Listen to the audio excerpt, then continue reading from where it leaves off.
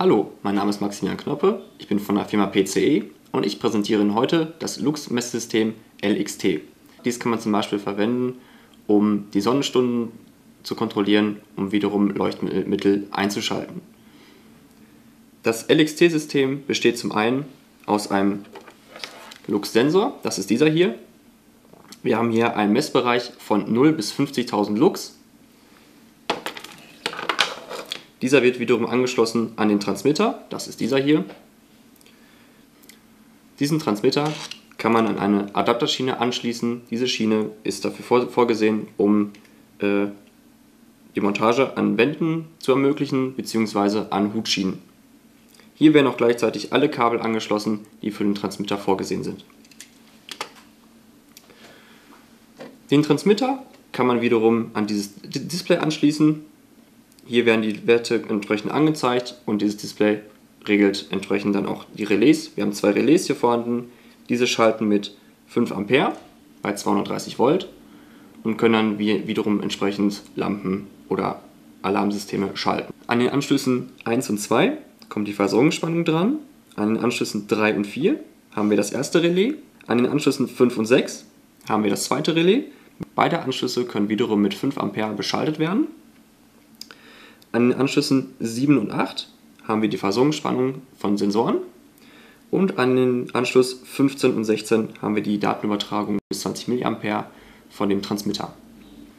Des Weiteren haben wir noch Montagehalterungen für das Display, um, diese, um das Display wiederum an Schaltschränken zu montieren. Nun werde ich das System einmal in einem Schnellverfahren zusammenbauen.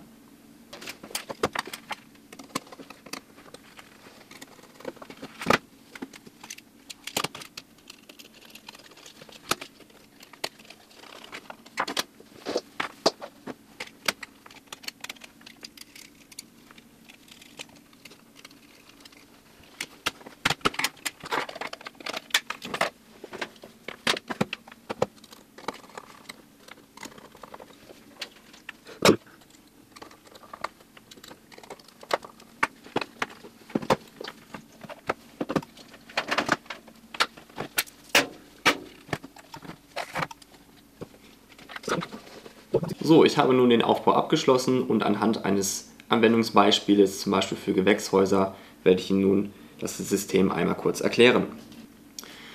Den Lichtsensor könnte man zum Beispiel außerhalb montieren. Dieser überwacht durchgehend die Lichtstärke. Die Lichtsignale werden entsprechend an den Transmitter weitergeleitet. Der Transmitter wandelt dann entsprechend die Signale in ein 4 bis 20 mA Signal und das Display zeigt diese Werte entsprechend an. Am Display selber haben wir, wie bereits erwähnt, zwei Relais vorhanden, die wir programmieren können ab einer bestimmten Lichtstärke, dass dann weitere Beleuchtung aktiviert oder deaktiviert wird. Dies kann ich jetzt einmal simulieren, indem ich meine Hand über den Sensor halte. Dann werden Sie sehen, dass die Beleuchtung entsprechend eingeschaltet wird. Lasse ich nun meine Hand los, wird die, wird die Beleuchtung direkt wieder ausgeschaltet.